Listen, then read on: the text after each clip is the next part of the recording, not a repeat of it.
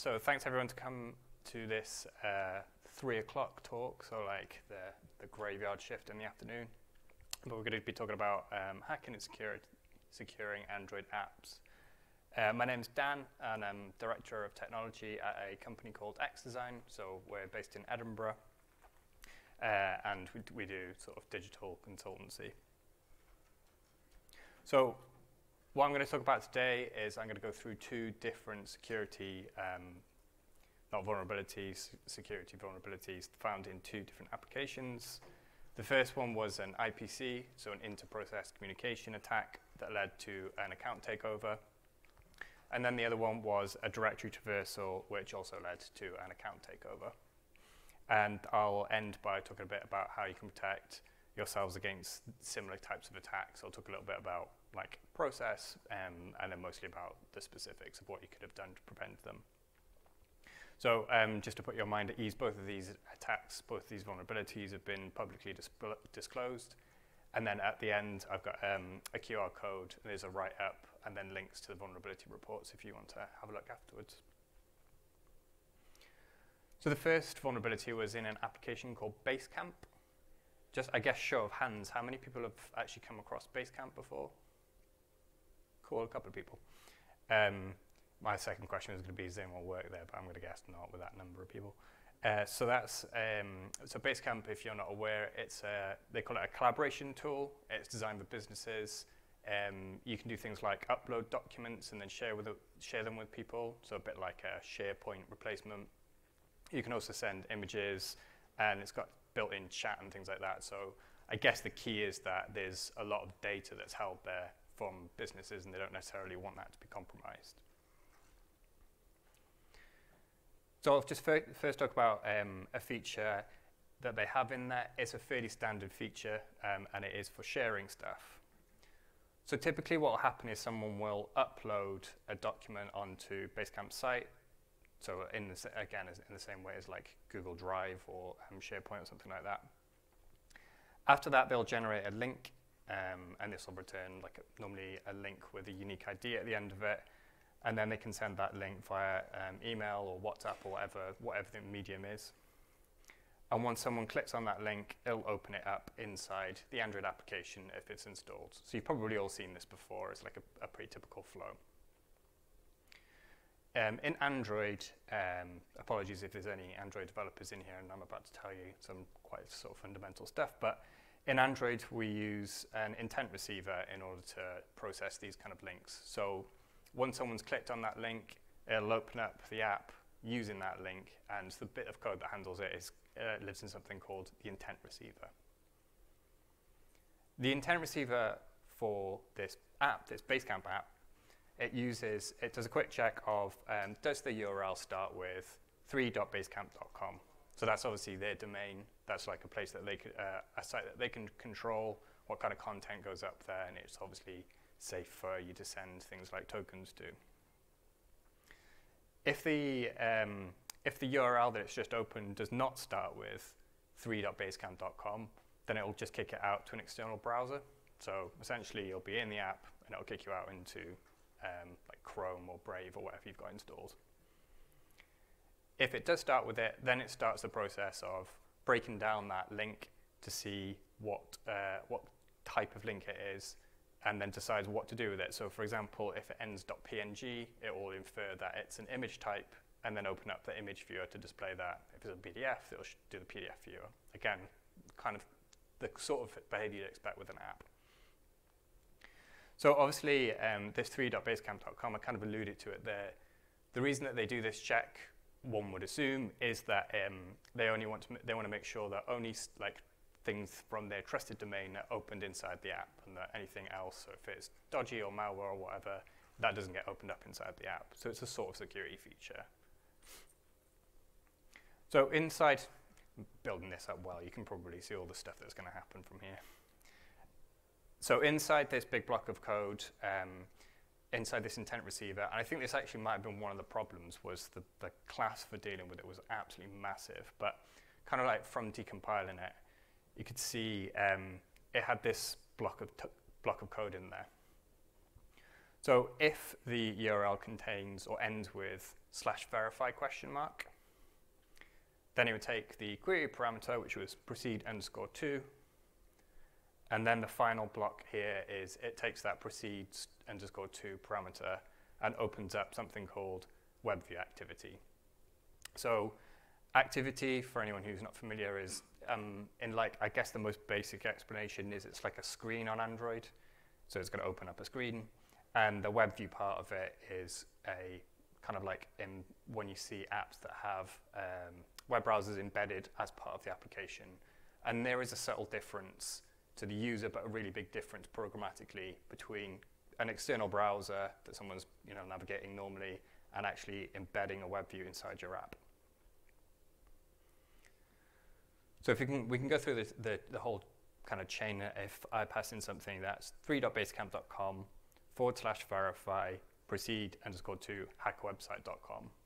So obviously this would be an example where proceed to, which would then get opened up, is a hacker controlled website and not basecamp.com. So it does start with 3.basecamp.com. It does end with verify question mark. And so I will take that proceed and underscore to parameter and then open up a web view. So kind of at this point in the, um, in the attack, we're executing inside the application, which is great, and I can execute as much JavaScript as I want.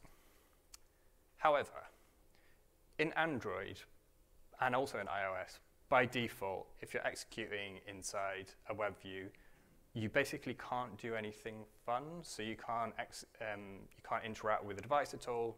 You can't execute any like um, anything to do with the file system.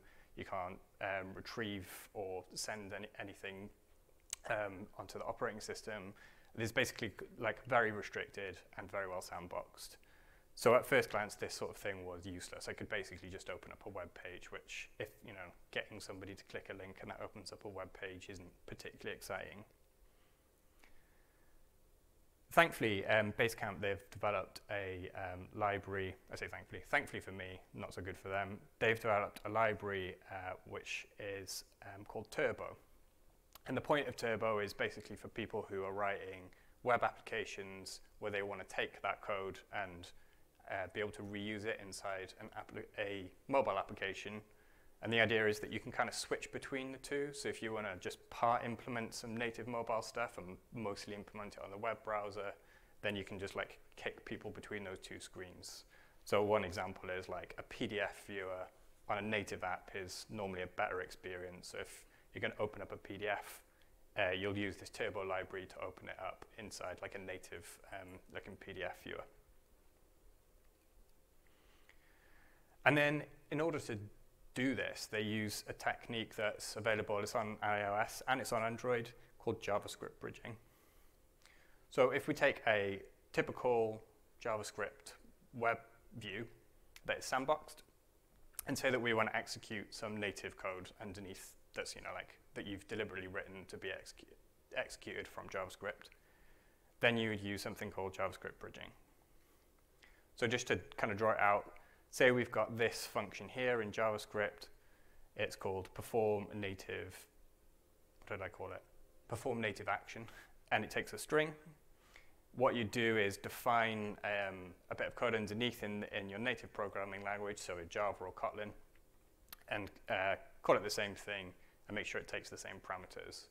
And that kind of lets you execute functions, um, but very specific ones that are, that are able to interact with the device in a bit more of a, um, like an interesting way and actually make use of, some, of the fact that you're executing on a mobile platform. So as part of Turbo, they defined a function called Open Native Image Viewer. So the purpose of this function, and actually the whole library, was to allow for seamless navigation between a web view and the native application.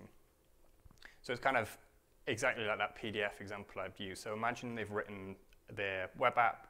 It uses a load of HTML and JavaScript for the, the majority of it. But you want to you wanna use like a native image viewer, so you can do things like pinch to zoom, and you can do caching and stuff like that. So they've got this bit in there that when I click on uh, a list of images, I want to get a bigger picture, for example, it'll then um, intercept my click, and then execute this native function, so it's written in Java, to open the native image viewer. So again, the way that it will work is I'll upload this image to the Basecamp server. Someone will see it and then click on it in some inside HTML, and that will execute some JavaScript on the device, which will execute the open native image viewer. And then at that point, what it does is goes to the URL on Basecamp's website in order to download uh, that image. So kind of native image viewer needs to download the image before it can display it. As a result of the fact that that image might be something sensitive, so imagine like you've been um, workshopping all day and you take a picture of the whiteboard and then upload that to Basecamp. Yeah, and I, I guess in line with best practice, you want to make sure that those images aren't just exposed to anyone on the web. You want to um, um, authenticate it, and the way that they did this was using JWTs. So basically, when it makes that request to get the image, it'll send a token with it, and then the server can verify that that's the user. So if we um, now go through the um, original attack, if I've got this one here, and it's basically the same thing we showed before, but with slash script at the end of it, and then that'll download this little block of code here. So I'm not sure, that's quite big, so you can, everybody can see that, right? So the download URL there is probably the important one.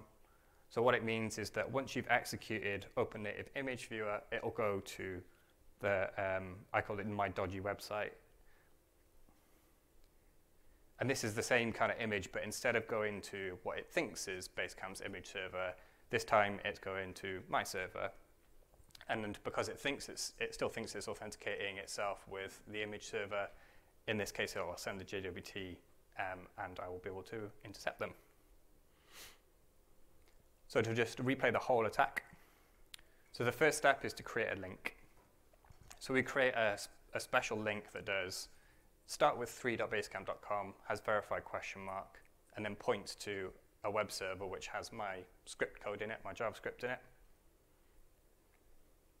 The app will open up that WebView activity with the target URL download and execute that script. That in turn will um, execute this bridging function, which will open the native image viewer. And then as part of downloading the image that it thinks is coming from Basecamp server, it'll send the JWTs in the request. And then I can store them and use them. So once you've got JWTs, I'm guessing most of you all realize this is already quite bad, but you can use that token then to execute um, commands as if you're that user essentially. So it's as if you're logged in. Um, and I kind of tested this out with the Basecamp just by intercepting API calls and sending them different people's tokens as part of it. So that's kind of from that point you've kind of you've got access to the account as if they're logged in. So that's that's the kind of first vulnerability. Um, the second vulnerability is in an app uh, which maybe more people have heard of, which is Slack. I, I won't ask for a show of hands. I'm going to guess most people have heard of Slack before, but just in case you haven't, this is something where um, kind of no matter how strict your security policies are, like a lot of personal information, a lot of like business critical information gets sent over Slack. Um, along with files and things like that. So again, it's something that you would ideally not want the data to be compromised for. So I've pitched this at the beginning, so apologies for a lot of the people in the room who I'm about to teach what directory traversal is, but there are potentially some people who um, are new to it. So um, directory traversal is where imagine you take this JSON object here, and the file name there is used uh, in order to like name the file on disk, and then you can also control the file content. So imagine that this then is the code that you'd use to, use to execute on that JavaScript. So what you can see is, and this is um, an Android looking file directory, so it's data data, my app, private. And if you take the response.file name from that previous JSON, it should go to data data, my app, private, myfile.txt. And the response content then is file content, so your file should then have the content of ABC if you use what was in the last, last example. So directory traversal is what, you, what happens if you use exactly the same block of code, but on this So this time, instead of uh, myfile.txt, we've got dot dot slash myfile.txt. And essentially what the dot dot slash does is moves up a directory level for every dot dot is in there. So previously, we were going to data data my app private, myfile.txt. In this example, you go to data data my app myfile.txt. And you can go all the way up with that. In normal kind of like non-mobile things, this is probably one of the more serious vulnerabilities that you can get because it could usually mean that you're able to overwrite binary files. So um, normally if you've, you've done this and the process is operating as root, you'd overwrite like some bin files that um, operate, that uh, execute at startup and drop malware. Uh, and if not, then um, you start to have to play with a little bit of things that you're able to have permission to. So for example, if you're executing as a lower privilege user and you can only modify files that you have access to, which is the case in Android, so you can't overwrite like system binaries as an app, you can only mess with files that you have access to, then you have to start looking at changing other things and often overwriting configuration files. So back to Slack. So the, the, vulnerability kind of started, or sorry, the attack kind of started with an undocumented upload API call. So there are, there's a couple of different ways of uploading files in Slack, and this one I found just by looking at the, the networking requests in the web browser. So essentially, the way that you can do it is you can send the file in one request, and you can also send the file name in another request. So you can probably see it on there. So there's basically a, um, a JSON at the end where you can set the file name and it's very similar to our example. It's dot dot slash dot dot slash shared underscore prefs abc.xml.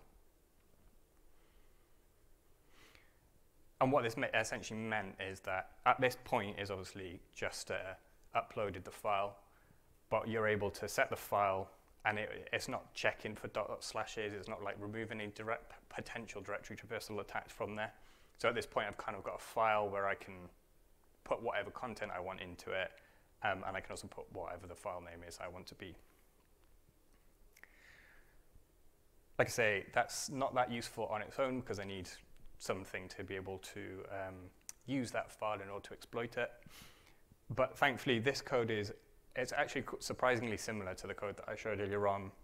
So that downloads path is the um, it's like a, a static variable or a set. You know, it's hard coded on disk, and it's data data com.slack forward slash downloads.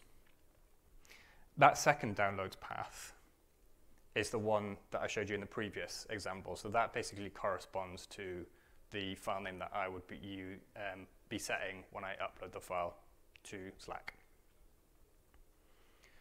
Which is great because now what I've got is I've got a way of uploading a file with a directory traversal path in it, and I have some code on the Android device which is going to execute that.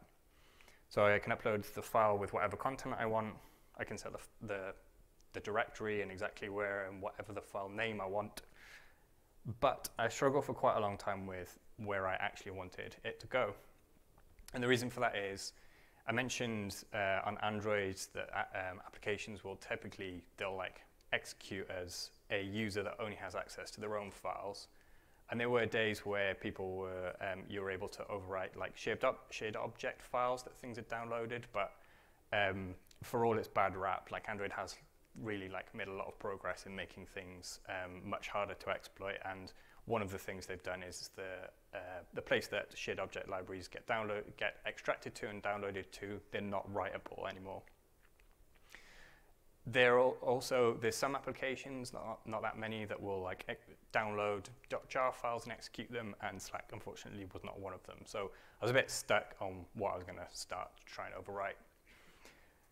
But uh, eventually I was kind of like digging around the file system looking for some inspiration, and I found a file called Flannel. And after doing a bit of Googling, which is basically top search result, Flannel and Slack, came up with what it is, which is an application level cache, edge cache to make Slack scale. It was a very helpful blog post for me. I'm not sure it was kind of like exactly what they had intended, but it works exactly as you'd expect a cache to work. So at the bottom, you've got the application, and that will call out to um, the cache server the cache server will see if it has the result for the, you know, like I'm say I'm making a request for my chats.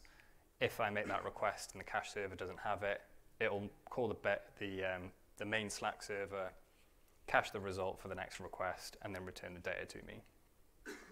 And obviously, because it's I'm requesting information, I'll be sending an auth token as part of the request. So I'll be sending my JWT again. So this flannel file has um, the URL of the flannel cache on disk. And the reason for that is basically the, the operation of the cache is that the application will periodically check out for a new cache. I think it's every, I can't remember what it was, 24 hours or something like that. But you'd have a cache like for, for about 24 hours. And then after 24 hours, it would go off and request a new cache URL. And my assumption is it was so that Slack can like scale them out as demand needs, and then scale them back in um, when there's when there's less demand, and you'll kind of get one. You know, you'll get a um, get the cache URL for the least overloaded one, and they might spit up new ones. But essentially, what I had on file was this flannel file.xml and flannel URL, which pointed to that cache. So I kind of now knew that I wanted to, um, that I had an, a few options for what I wanted to upload, and I wanted to upload something that was going to overwrite that file. So I now know where I want it to go, which is to overwrite that flannel file.xml. So the final bit of this to actually make it work was um, Slack has, for some reason, multiple blocks of code for downloading a file. Like it has at least two. And this one would only execute in very specific circumstances. So it wasn't just like if someone was hitting the download button, it was if somebody um, sent them a file, Slack tries to render it. So for example, if it's an image, it'll try and render that image um, when it receive when you you know receive the Slack message. And if it can't render the image, then you'll get this like little open button. And it was that open button I needed to be visible because when someone clicked it, that's what executed the vulnerable code.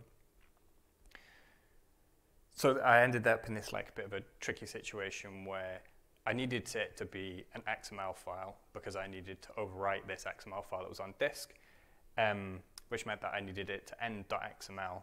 But if I did that, then it, it sort of knows how to render XML. So uh, yeah, it, I had to basically do one of the things that uh, they were conflicting with each other. Thankfully, they can't render files if they're greater than one megabyte. So I basically just put tons of rubbish in there and then a bit of valid XML at the end, which overwrote that final file. And that's the sort of open button talk I was talking about there. So if, if you send a file to a user and they click that open button, it'll download this script onto, um, it'll, sorry, execute that block of code with a flannel file, overwrite the file that's there, and then um, from there, the next time the Slack calls out, it'll call out to my server. So to put it all together again, the first step is obviously uploading a vulnerable file with um, a directory traversal in it and uploading that to Slack. Once I've got, once I've uploaded that file, I would then basically use just normal Slack stuff to send that file to the person that I wanted to attack when they hit open, that executes the download function, the kind of vulnerable download function. And when that happens, it will um, overwrite the file on disk, that flannel file. And when it does that, then the next time that it, uh, the, um, it was basically anything, anytime Slack tried to do anything, it would try and do it via the cache. So you just had to wait a few seconds and it would, it would call out. And as part of doing that, it'll send you the JWT so one of the bonuses with this one as well was, say, like uh, some people may be logged into multiple Slack organizations. So you might be, like, I don't know if anyone's got a family Slack, but I'm going to use the example anyway. But say you've got a family Slack for some reason, um, and you're a bit less careful with what you open whilst you're on that because you're like, oh, it's just my family Slack, right? It's not that important. And say you're a bit more cautious about it then when you're on your work Slack and you think, right, this is quite a serious thing that I need to make sure I don't click on dodgy links. What, um, what you could do with this exploit was, because it was just overwriting a file on disk, if I was on my family Slack and someone sent me the link and I clicked open, it could actually overwrite your company's Slack as long as you're um, logged in on the, the same device. So kind of in that way, even though you were, um, it was, you know, like on a one Slack that you were opening the file, it could actually overwrite from the other one and kind of pivot onto a different organization. And it was the same, same thing again. So I'd have kind of sit on the server, store JWTs, and then be able to call the API, the Slack API, with that um, token in the same way as um, if I was logged in. So I could do a lot of different actions. And the other fun thing, fun for me, was that if you um, if you've got someone's token, it's Slack, right? So it's a messaging app. That um, I could then use that in order to send the file to other people, so it would come from the compromised user, and in that way, it would kind of it would be possible, which obviously I didn't do, but it would be possible to have that automatically spread by having uh, different Slack messages going from lots of different people at the same time. And I've already mentioned the account bypassing, which would be attacking one, uh, one account in order to pivot onto a different one. So that's the vulnerability in Slack. So I'm going to finish with talking about securing your applications or securing applications that you care about. Uh, there was a really good talk this morning about the um, MAS and MASTG. So the, it's the Mobile Application Security Testing Guide and I was poking around for the bits of there, which I was sure was in there in hindsight, that I could have found that would tell me how I could have caught this vulnerability in testing. So um, th this one here is um, testing for Java objects exposed through web views. So that's obviously what the, in the Basecamp example, that's kind of what, what was happening was inside the web view, it was uh, an exposed Java object and it was calling out to obviously they're a function, but there wasn't enough there wasn't enough checks in there to stop it from going to my server. Another one, which was maybe more specific, was testing deep links. So there's a lot of um, guidance around like testing the links that open up the application in the first place. And I think that's probably the best place to catch that kind of vulnerability is to check for any links as they come in to make sure that they're not compromised. Uh, the final one I'd say is um, for, the, for the Slack app, I didn't actually find very much about uh, directory traversal in there. So um, one of my colleagues has opened up a ticket, so hopefully we'll contribute that in soon. But that's another sort of thing to bear in mind is that looking for potential uses of file and then checking to see if there's a directory traversal in there. I think, and this is probably always the case, or very often the case with um, AppSec, is, is always about input validation. So in Basecamp specifically, there was insufficient verification of the proceed underscore to parameter. So it had already checked 3.basecamp.com for the, the main URL, but it just didn't check it on that second one. And then the other place is when um, downloading an image, you could have put in some code to check there that it was going to the, the right server. But it's not actually as straightforward as people might think it is. So it's not just, oh, check it's there. And I've seen this code quite a lot, not here, but in other apps url.containsbasecamp.com. But this, for example, would bypass that. So if I just put ignore this as a random query parameter, that does pass that check. And there's a number of other things, they're sort of like putting things and then putting at at there, and that, it, that'll get processed as valid and syntactic, like thing for talking to the FTP server, which nobody knows about, nobody uses, but could actually be used to bypass these types of checks. And at full disclosure, so I wrote this library sort of related to some of these bugs, but to try and come up with a similar approach to um, like a default deny thing, where instead of accidentally um, letting some of these things through, that you explicitly deny any URL and deny any file until it meets certain rules. So as an example, this would be the modified code for Basecamp when, um, when that verify proceed underscore to parameter comes in. So it's got um, .url verification, and then you, you allow the host. So basically, without doing that, it would deny all of the URLs that were coming in. A similar one then in if we'd have done that for when it was calling out to the image server, that was the, kind of other, the other place that I think you could have caught it. So you could uh, do the same sort of thing again. So you do URL verification and make sure that it's only going to try and download an image from that place by allowing the host. With Slack, there's there was two places that I felt like you could have caught it. Um, The first one was when you uploaded the file, like at that point, I'm kind of surprised that it didn't, to be honest, that actually uploading and having uh, that kind of stuff in there, you'd have expected something like WAFs or some kind of like validation when things were being uploaded. And then the other thing is the file name validation when downloading that file, so on the mobile part of it. And again, this isn't usually as straightforward as you think it's going to be.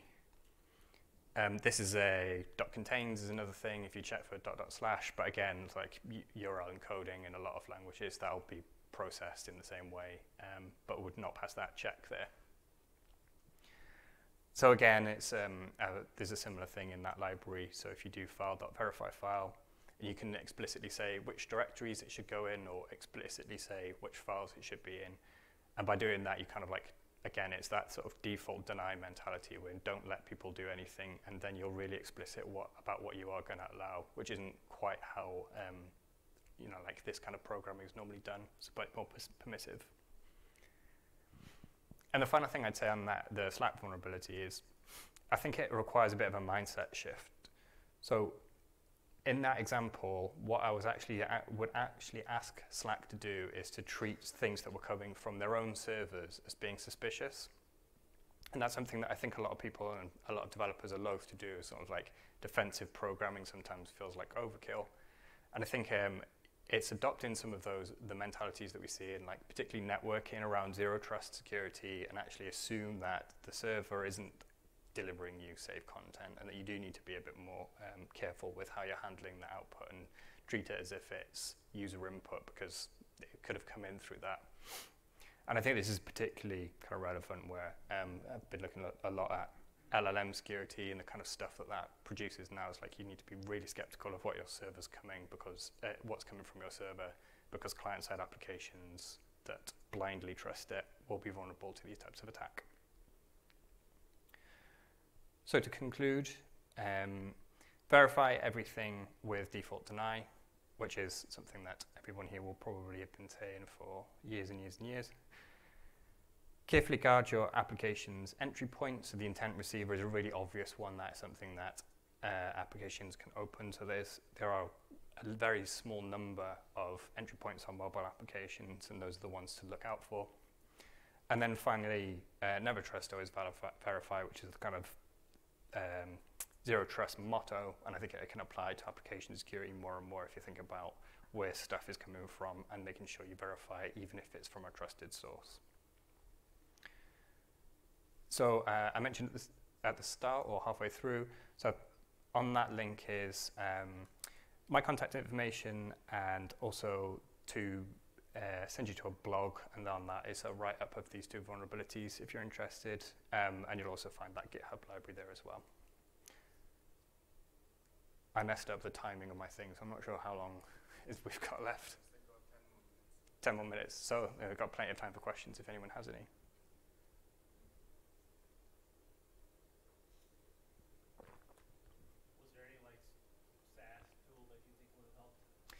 Yeah, I originally had a much longer version of this where I went through and just pointed out like um, SAST tools. So I deliberately ran it through a couple of SAST tools for specifically the directory traversal stuff, and that um, that that came up with nothing, and I, which I was actually quite surprised at. I thought like blindly loading in files and the directory from an external source would get picked up, but um, the ones I tried didn't didn't find it. The Basecamp one is kind of more interesting because it's I'm not sure it's a bug in the sense of like you could have wanted all of that stuff to happen. It's much more of a logic bug. There's not um, like a specific coding practice in there that was that was bad, it, and it was quite a long-winded way of getting to it. So uh, I, I also ran it through there, and but I didn't kind of expect that to, to come up with it because because of the nature of it. Arguably, there could have been a DAST tool that could have done it.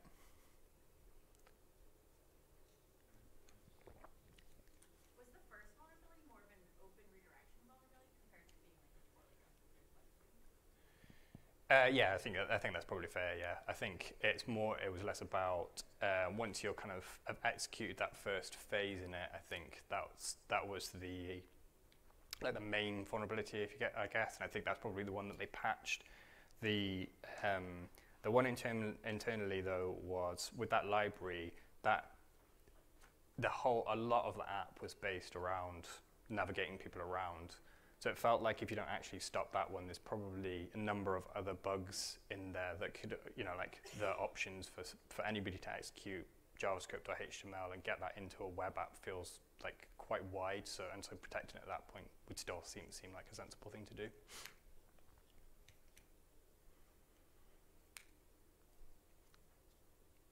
Any more? Thanks very much.